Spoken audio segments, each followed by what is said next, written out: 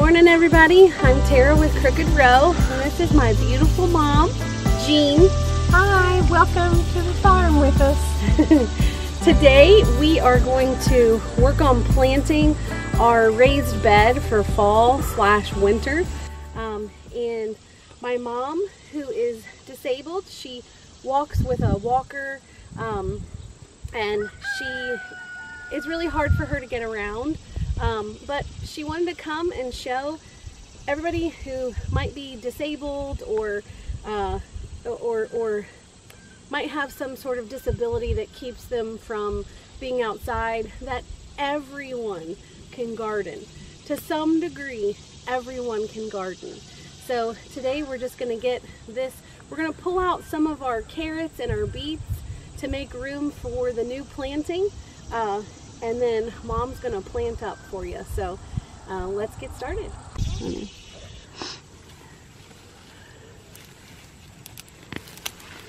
Hey, that's a good one. Oh, that's about a six inch yellow carrot.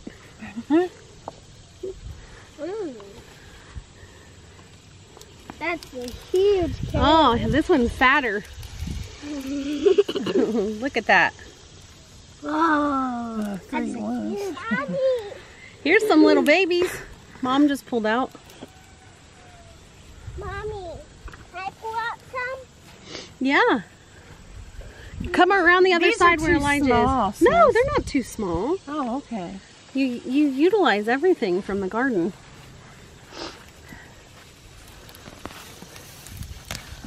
Whoops. They're just look. This one tried to split.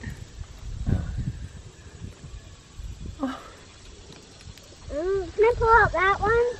Now that we did the carrots, we cleared that part of the bed out. Now I'm gonna harvest the beets. Let's see how that goes. Hey, that's a good one. Now I see a huge. That's like the perfect size beet too. Uh, see a huge. you don't want them huge. Some of ours have gotten huge. Um, the the the small ones can be too small to actually utilize, but this is like the perfect size. You know, it like fits in the palm of my hand. Uh, like this is a little small.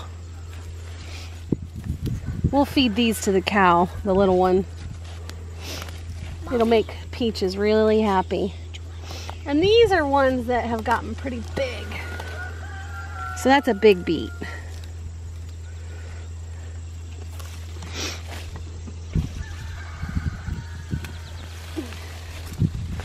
These are good sized beets.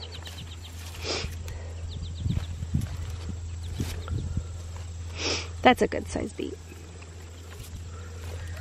Okay, nice little harvest from bed.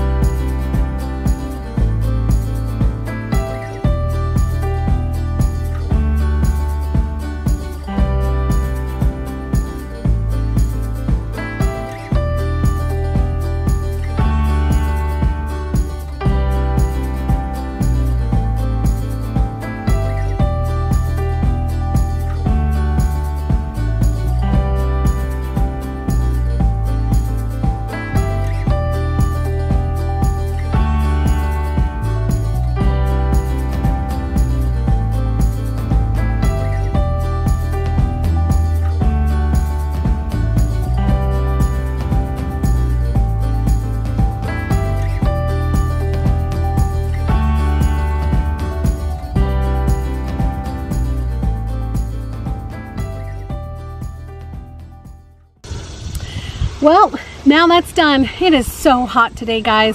I mean, it's, I don't even think it's nine o'clock yet. Let me see. It's nine o'clock on the nose and we are already sweating bullets.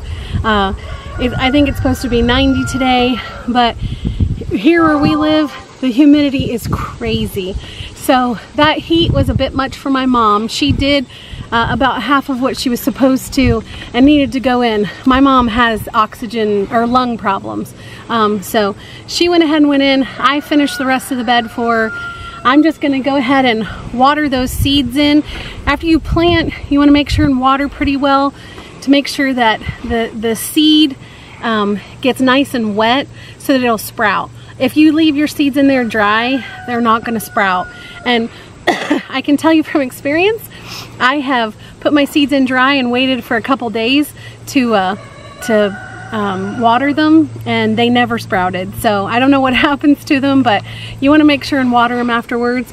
But so we have our fall bed ready to go and hopefully we're gonna end up putting a collar around this bed, a wooden collar with plexiglass and we'll we'll make a video and show you how we're gonna do that but we're gonna try to garden keep our fall vegetables through the winter and we'll keep you updated on the progress but we're done with this project for today.